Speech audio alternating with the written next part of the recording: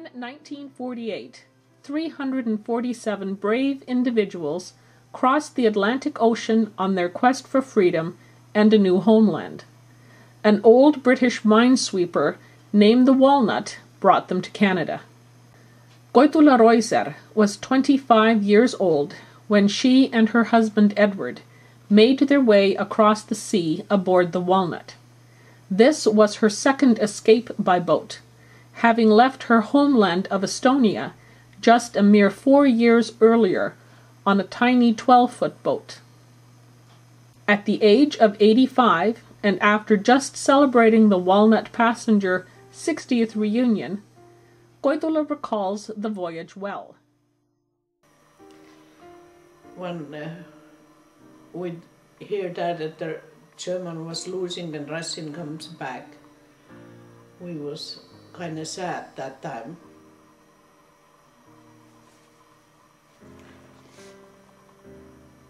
It's very hard to go away where you are born and your language and your friends and your family. And we was just crying so hard that time. And when we left Estonia and we was going in Sweden, we understood that we can't live here. It was a nice country and people was very nice. Except, you know, the Russian was so closed and we decided that we do something, you know, and we are living in Sweden. And finally, when the chance came, the um, leaving Sweden, it wasn't so hard like in coming out in Estonian. We was leaving from Sweden because it wasn't very safe. The Sweden was giving out to all those people, you know, what the Russian was asking back. The ID or by the boat was a group of people, you know, and we decided to put the money together and buy the boat. This is, this is the minute book of Walnut. My husband was secretary and he had all those details which I didn't, didn't know very much, you know. And they had uh, shareholders and some of them was just paying the price for crossing over when we was living in uh, Sweden. And everybody was happy that we are start going. And uh, we was playing cards and had a orange it and everything was okay till we hit the big ocean. And after that, it was, everybody was seasick, everybody was laying down, nobody didn't move. And I didn't eat all those two weeks when we was in the ocean. Just once when we had a milk soup. And once I was going out and see how the ocean was looks like it. And that was awful. Big waves, just like mountains, was moving up and down. And that, the little boat was just tiny little things in that big, big ocean.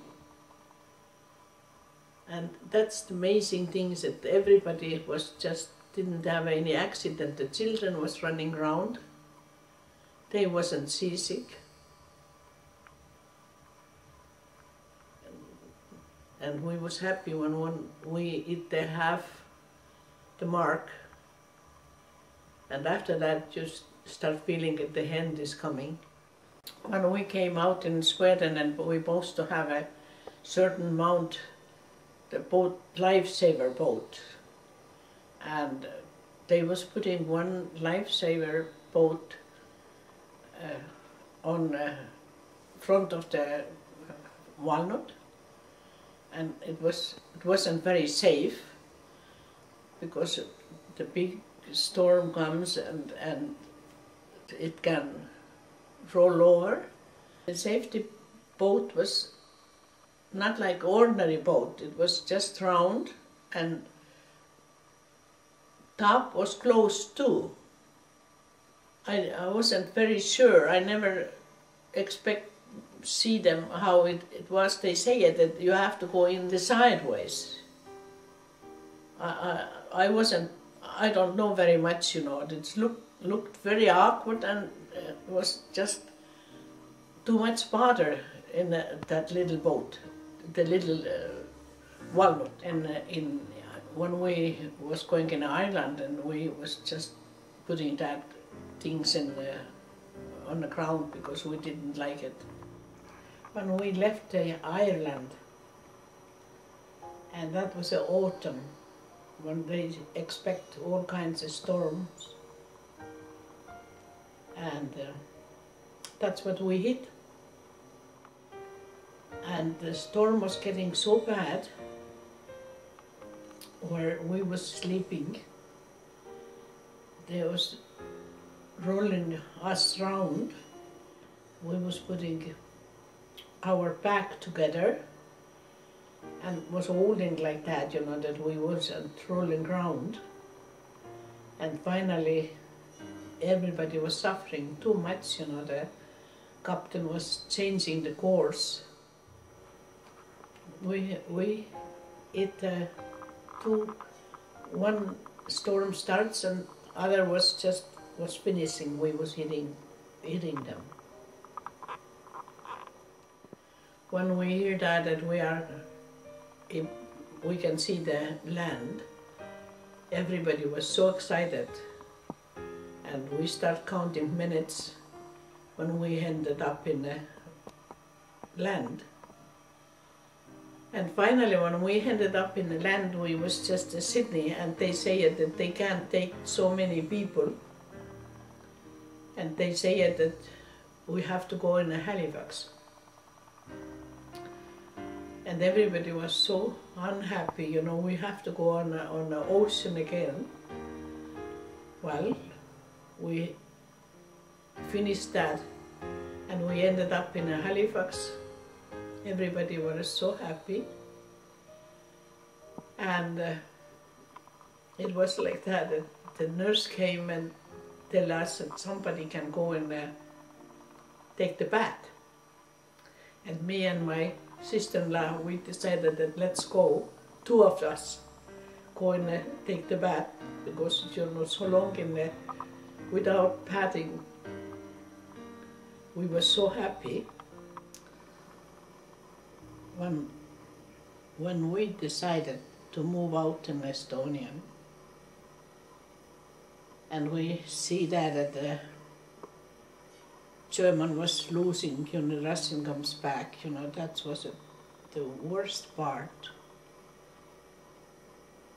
you are used to it, you have a language, you have everything, and you have to leave.